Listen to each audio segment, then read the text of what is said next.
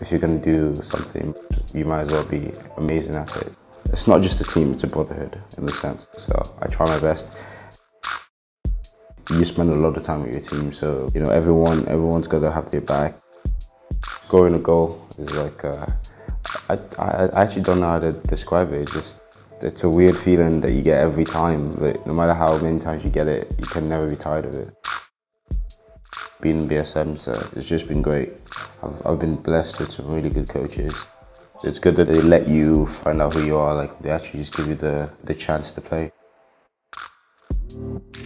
I think uh, losing builds character. Like I'm not the best loser in the world. I'll, I'll admit that. If anything, losing drives me to just keep playing and win and get one over them. So I don't think that I don't think a day will come when I won't just think about football, and enjoy it. It's a beautiful game.